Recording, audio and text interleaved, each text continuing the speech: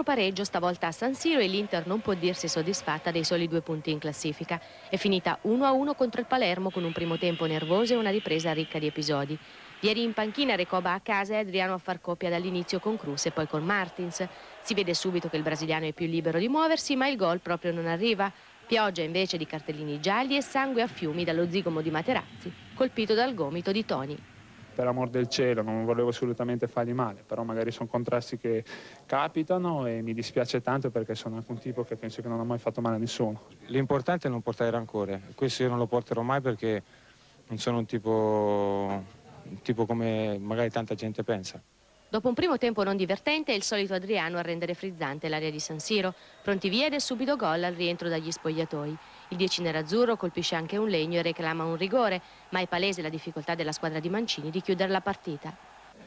Noi non possiamo creare così tante palle gol e fare un gol solo, ecco. cioè, insomma, questa è una partita che avremmo dovuto chiudere molto prima e poi anche avessimo commesso una disattenzione come è stato non avremmo sicuramente pareggiato.